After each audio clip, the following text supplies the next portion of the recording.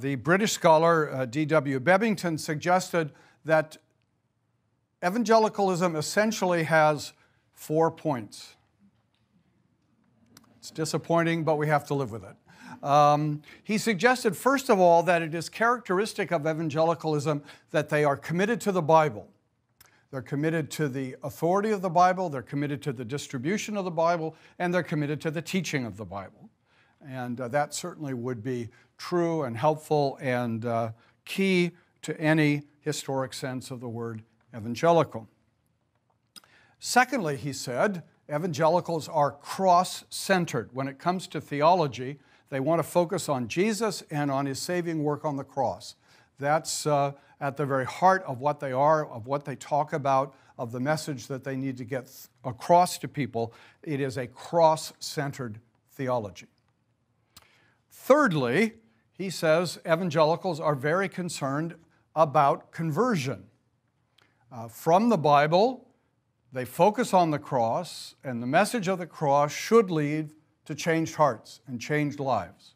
And uh, that's a great passion of evangelicals to see conversions, to see people brought to faith, to see people brought out of darkness into life. That is a characteristic and essential um, element of evangelicalism. And fourthly, uh, he says, uh, characteristic of evangelicals is a kind of activism.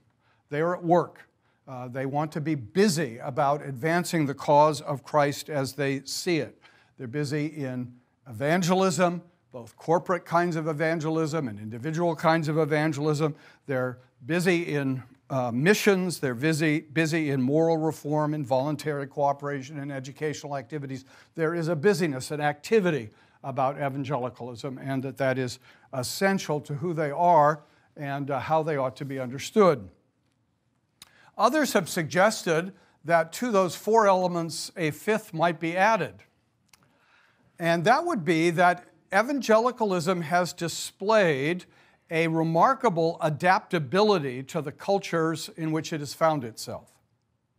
So when people look at evangelicalism in the late 18th and on into the 19th century, they often find a very rational spirit to evangelicalism as it seeks to speak to a rather rational age.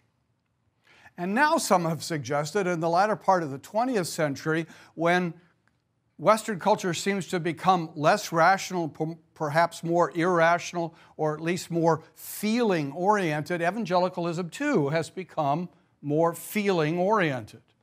And so that would suggest there is an adaptability to evangelicalism that is crucial uh, to its uh, character.